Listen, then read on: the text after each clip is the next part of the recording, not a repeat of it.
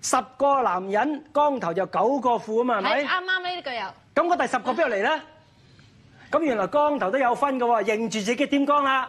前面開始光就行緊好運，頭頂開始光就行緊衰運。記住啊，唔好光錯頭啊！要光嘅話，揀都揀前面，唔唔好揀地中海啊！嗱，又有分嘅，開始行衰係真。係啱㗎呢句。一定啱嘅，因為你我頭先講啦嘛，你額高咗係代表乜嘢啊？分析能力高咗，個人智慧高咗，誒、接受到新嘢個量度大咗，個人咪容易成功咯。所以記住，前面光係好運，頭頂光係衰運。嗱，講咗高同闊咯，咁跟住飽唔飽滿，額如覆乾者貴啦嘛，係咪？咁如果飽滿就好嘅，唔飽滿就相對唔好啦。氣息明唔明潤嗱，氣息緊要啦。咁而家你睇我個額係咪好似反晒光啊？呢、個叫做氣息明潤啦。嗱，氣息明潤有冇文侵字破喎？嗱，文侵字破咧，我哋可以睇啦。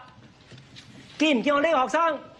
呢度有粒墨啊！呢、個叫做字破，左係阿爸，右係阿媽。好在佢冇擲住日月角，但係佢冇擲住日月角，但係全個右邊都係講阿媽嘅喎。咁呢個亦都係代表阿媽身體會弱少少啦。不過佢發腳見唔見岩殘啊？十五六歲呢個位唔靚嘅，發腳岩殘與父無緣，早出嚟做嘢。少年嘅時候，十五十六嘅時候，學業容易出現障礙，可能轉學校或者做暑期工。點解暑期工咁着數啊？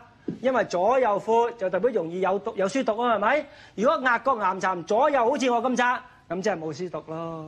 啊，所以呢個又着數啲啦。師傅如果出暗我去咗外國瘡，讀書，係咁咪着數啲啦。外國讀書嗱，以前未發明外國讀書，咁我點知啊？原來由統計而嚟嘅，因為古代咧就係講發腳岩殘嘅人冇書讀，咁原來咧我慢慢統計，原來去外國讀書咧就等於做嘢喎。點解啊？自己洗下底褲啊，執下衫啊，鋪下床鋪啊，係咪要自己打工啊？咁原來等於自己做嘢啦，所以一定要現代化，同埋。